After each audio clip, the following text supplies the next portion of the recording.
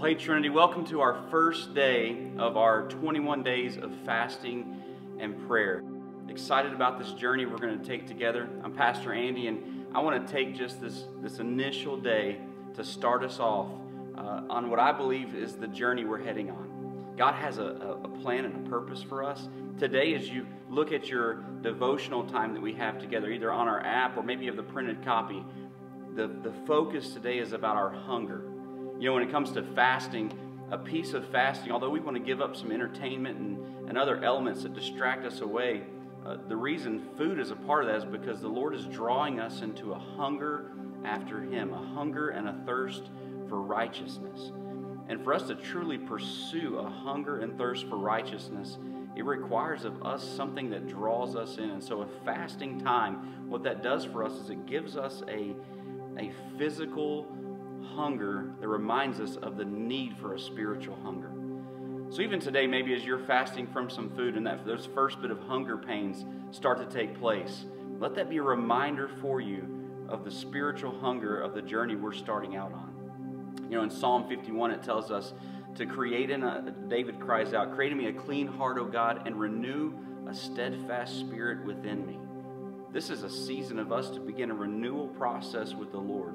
And by stepping into a season of hungering and thirsting for God, you know, rarely do we really experience hunger. You know, as Americans, we haven't had that, that true hunger desire. Maybe you have. Maybe you've walked through a journey like that, but it's rare for most of us. And so, even just skipping a meal or, or cutting out sugar or whatever that may look like for you in the, the food form of fasting, that, that draw for us of saying, I had, something's empty and missing inside that reminds us in the spiritual side that there's something missing if we're not hungering and thirsting after God. And so, as you begin this journey, this isn't about checking off a box of making sure you get a diet plan right for 21 days or making sure you're, you're just cutting out social media so you can say, I cut it out like I was supposed to. This, this isn't just about being militant and obedient to this 21 days, it's about developing a hunger and a thirst for righteousness that we might pursue God and see God do a work in us. We're going to take these 21 days and watch as God does a work in us individually, but also collectively as a church as we seek Him for what God has next. Let me pray for us uh, as we close out our day one. Father, we come to you. We thank you that God, you you love us, you care for us, you bless us. And God, we want to be a people hungry for you, a desire for so may we hunger and thirst for righteousness, even as we start into this journey of fasting. God, may it remind us to pray.